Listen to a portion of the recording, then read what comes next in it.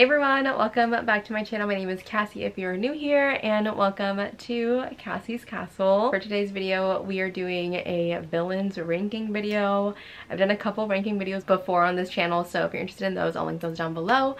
But today we are ranking the Disney villains in spirit of Halloween. If you are interested, make sure you guys give it a thumbs up, make sure you subscribe, and let's get started. Before we start, I need to preface this by saying these are just my personal opinions on the villains. You don't have to agree with me. It's just a fun time. For today's video, we have 15 Disney villains. There's obviously a lot more villains that exist, but I just kind of picked out like the top 15 that like most people know and are most popular. Starting at number 15, I have Shan Yu, which is the villain in Mulan. I just can't stand this guy. I feel like with the villains, I gravitate more towards like the funnier villains or like villains with like really good songs.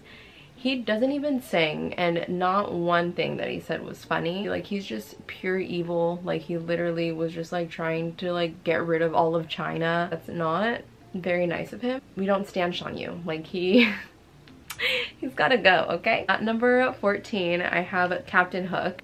He's just he just doesn't do it for me. First of all he goes after children which i mean a lot of these villains do. I feel like he goes after children for really no reason like at all. He doesn't have like a motive. He just wants to get rid of the children. Like that just doesn't really make sense to me. So for that reason, don't really like him. He is kind of funny, like his interactions with the crocodile, but like I honestly found the crocodile funnier than him. I don't really have anything bad to say about him, but when I think Disney villains, oftentimes forget he exists, if I'm being honest. Number 13, we have Queen of Hearts, and she's also another villain that I feel like is kind of forgettable, like she doesn't really do much. I feel like she's just like an angry lady for like really no reason, and the only reason why she's higher than Captain Hook is because I really like her outfit in the live action and I also really like her makeup and I also love the actress that plays her in the live action so that's why she's higher than Captain Hook. But if not like I could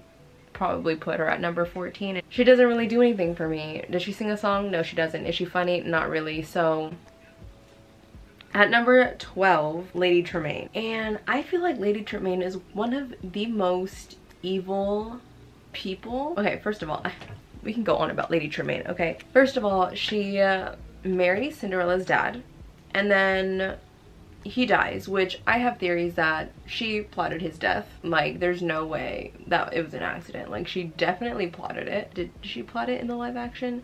I don't know, but I just have a theory that that's what she did, and I'm just gonna stick with that. You can't convince me otherwise. She took over the house, which, okay, that's what most stepmothers do they take over, you know, like the husband's house if he were to die. Like that's the point of like getting remarried, right? But then she made the daughter the slave. And like that is absolutely disrespectful. Like a slave in her own home or a servant, whatever you want to call her. I think it's slavery. It was not okay. I don't agree with it. I think it's so rude.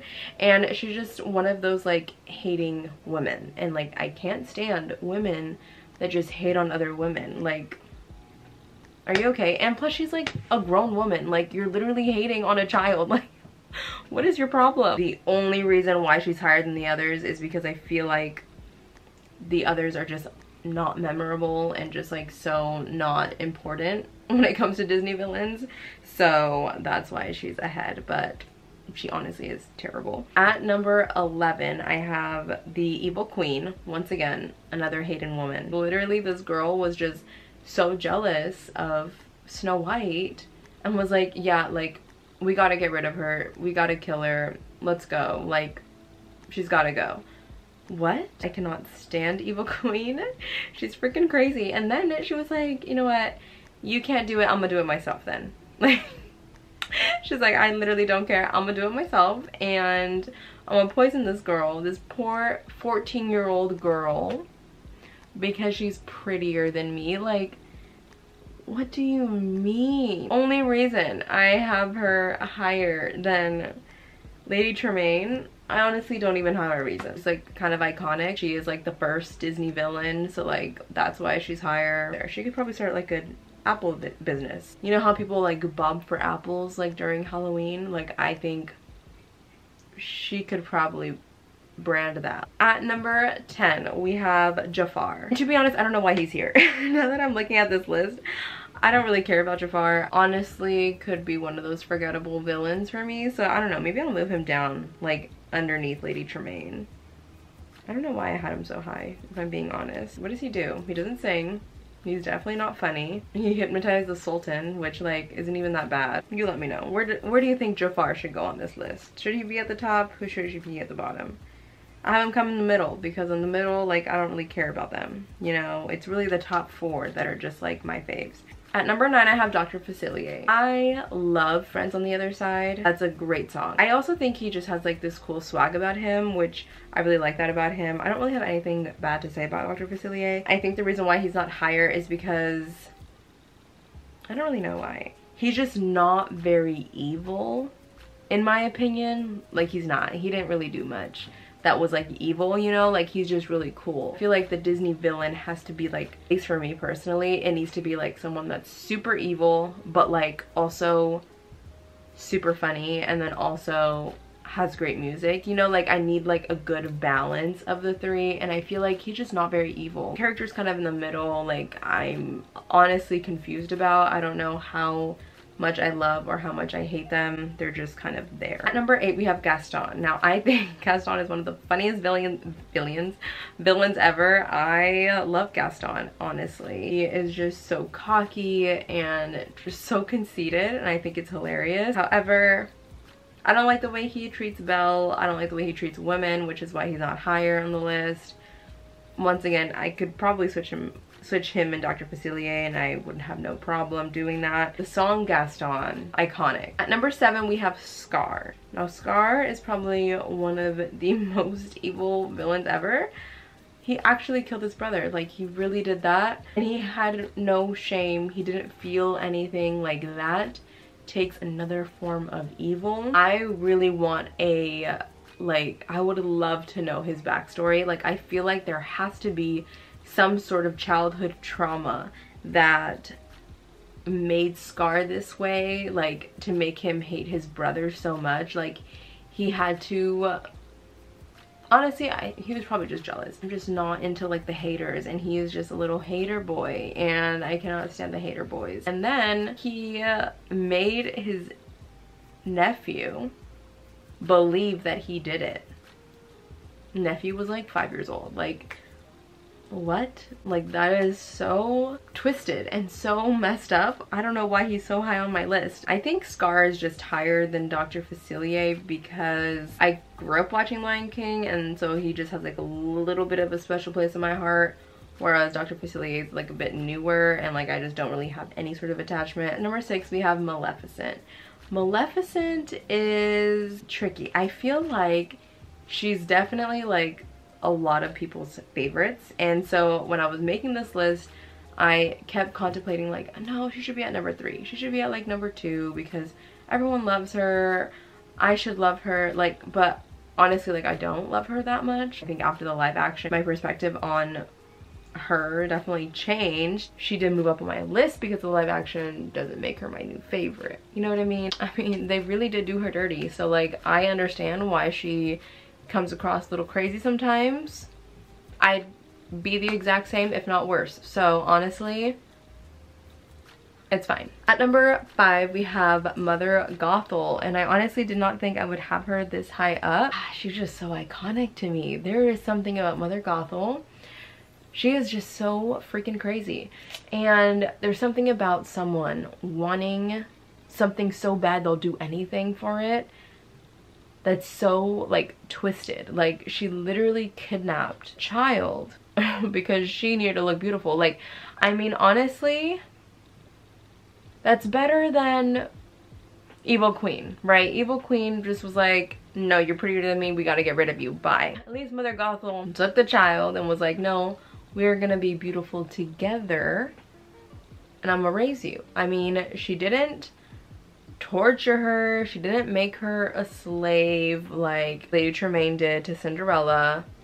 I mean, she did to kidnap her. I'm not saying the kidnapping is okay. If I'm being honest, Mother Knows Best is really why she is up there. It's a little crazy, but I kind of love the craziness. And what's really interesting is that things like this happen all the time. Like women literally are out here kidnapping children because they can't have their own children. I watch lots of true crime videos and like this is like a real thing. I kind of like that she kind of touches on that a little bit in that movie in a weird twisted way. Number four we have Yzma and I love Yzma. Yzma's from Emperor's New Groove, one of the funniest villains. Like honestly I could have her at number one but you'll see who my number one is and you will understand why they gotta be at number one. She wanted to take over Kuzco's empire or whatever it is. Kuzco wasn't doing like that great of a job anyways. Like he wasn't doing what needed to be done. He uh, was very selfish. So honestly, Kuzco is honestly the real villain here. Like, I don't think it's Yzma, it's definitely Kuzco. Who knows how the, the Empire would have been with her in charge. But I would have loved to see it because she's freaking funny. Her sidekick, Kronk, I mean, the best duo, villain duo ever. Yzma's so good, she doesn't even need to have a villain song. Number three, we have Hades, another amazing villain that does not need a song in order to be great, which is why we love him. I, too, would be so, like, angry if my brother, all my siblings are gods, goddesses, living up above, and I am stuck in the underworld. Like, You can't tell me you'd be happy. How did he get there? I don't know. Was he just placed there? I don't know. But if someone wants to let me know, how does Hades become Hades? Tell me. I think him being so funny is enough for him to be in the top three. Easily. Like, you cannot tell me Hades is not your top three favorite. He is great. And number two, we have Cruella. It was just off of the original Cruella, 100% she would have been at the bottom somewhere. But with that live action, there's gonna be a second one. I love Cruella. You guys know I love fashion, I love style, and she has both those things and more. Girl with the trash bag outfit, like a moment. I understand why she's so crazy. Like, I would be the same way. Like, that lady, ugh, if you haven't seen it, I don't want to spoil it. You need to watch Cruella if you haven't yet. It's on Disney Plus now. You don't even need to pay for premium. Like, just go watch it. It's so good. She is just amazing. I love her. There's not much I need to say. Once again, a villain that does not sing a song doesn't need to because she's so good. But also Cruella de Vil from the original, like that's a vibe. Even though she doesn't sing it. No, that's a whole, that's a bop, okay? Our number one Disney villain, I'm sure you guys could have guessed, it's Miss Ursula. Ursula has been my favorite because you guys know Little Mermaid was my favorite movie as a kid growing up. My favorite princess, period. Love her. First of all, she's funny. She uh, literally was out here with those curves and she was like, all you need is body language, y'all. Like, you don't need to talk, you just need body language and like, period. I also love that she's purple. I know why, I just really love that. I also love her like corset style sweetheart neckline outfit octopus look. Love it. Her transforming into Vanessa. She a baddie. She really is a baddie. Oh my god. This girl has two songs. Okay, she has that first song. What's the first song? Poor Unfortunate Souls. Literally listening to it last night. Poor Unfortunate Souls is the best villain song. Period. Ugh, I just... I love her. She not only had one song, she said, I'm gonna turn into Vanessa and I'm gonna give you another fire song, okay?